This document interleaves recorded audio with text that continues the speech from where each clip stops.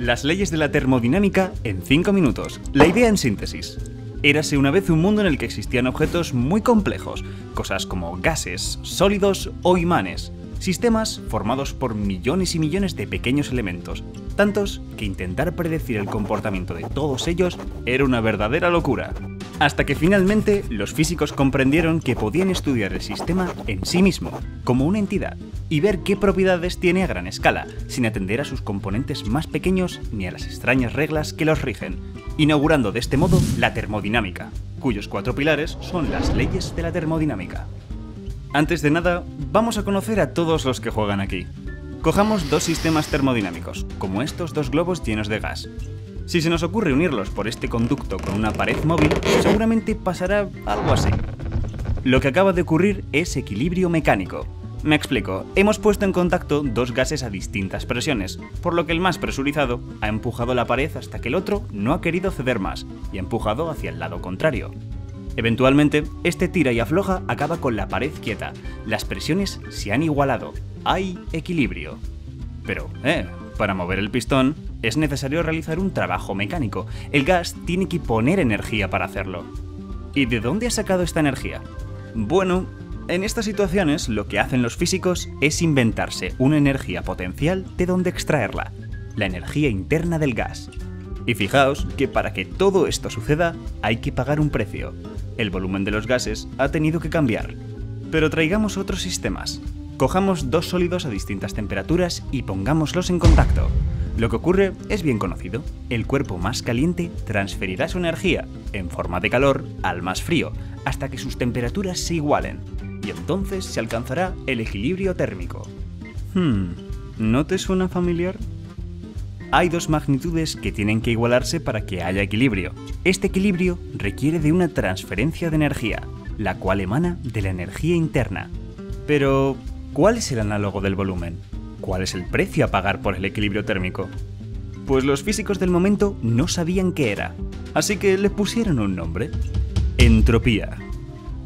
Bien, dicho todo esto, estáis listos para ver las leyes. Vamos allá. La ley cero nos dice que si un cuerpo A y un cuerpo B están en equilibrio, y el cuerpo B está a su vez en equilibrio con un cuerpo C, A y C están también en equilibrio entre ellos. Y dirás, oh vaya Crespo, qué sorpresa. Pues lo cierto es que esto no se puede derivar de ninguna parte, por lo que hay que postularlo y considerarlo como verdadero. Alguien tenía que poner la puntilla. En fin, vamos con la primera ley.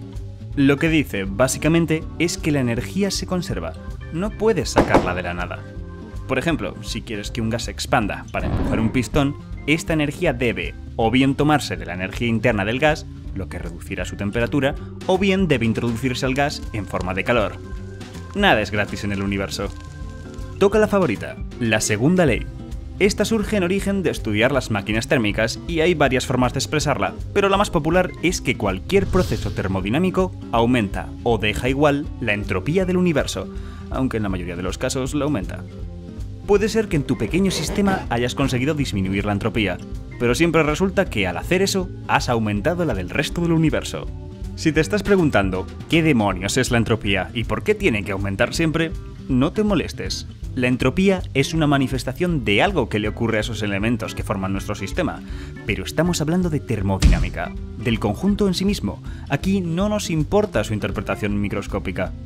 La entropía es una magnitud a gran escala, y la teoría no nos dirá mucho más sobre ella. ¡Ey, pero Crespo! La entropía no era lo que medía el grado de desorden de un... No se hacen spoilers en mi canal. Pero... Fuera de mi propiedad. Ok, me vuelvo a hacer cargadores. Y por último, la tercera ley. Una de sus formas de enunciarse es que no se puede enfriar un sistema termodinámico al cero absoluto en un número finito de procesos físicos. Vamos, que el cero absoluto de temperaturas es inaccesible. Solo podemos acercarnos a él, nunca alcanzarlo. Sin duda, la termodinámica es capaz de predecir en un sinfín de sistemas de características muy distintas. Sin embargo, no es capaz de dar un sentido físico a muchas de sus entidades, como la temperatura y la entropía. Para eso, los físicos tuvieron que esperar a una teoría que consiguiera trabajar con esos pequeños elementos tan molestos, la física estadística. Pero esa es una historia para otro vídeo. Y recuerda, si quieres más ciencia, suscríbete. Y gracias por vernos.